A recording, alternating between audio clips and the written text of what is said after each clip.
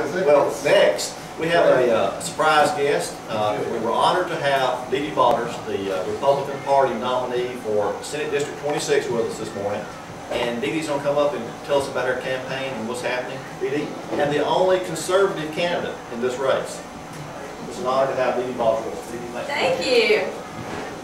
It's funny to be called honored. Uh, anyway, I wonder if my daughter always feels that way. This is Ellen Vaughters. I'm pleased to have her with me. She's on fall break, and um, she's out. She's going to be out campaigning with me today.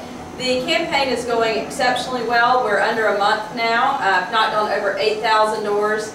And last night I answered, I can't tell you how many emails, and one in particular, a lady sent me a message through Facebook saying, I am so glad you came to my door and you spent time with me.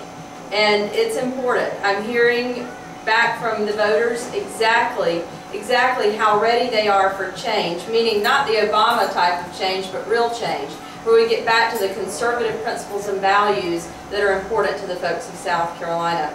So my website's www.dforsenate.com. If you go there, you can link into Facebook or Twitter and follow me daily. You can also find my cell phone number, and please don't hesitate to give me a call. Would love to answer any of your questions. Would love to come out and see you as well. So anyway, Tales from the Trail, we hope to see you there soon. Bye. Well, uh, you never know what will happen here at this nonpartisan group, this Cayce Mafia Breakfast, every Friday morning.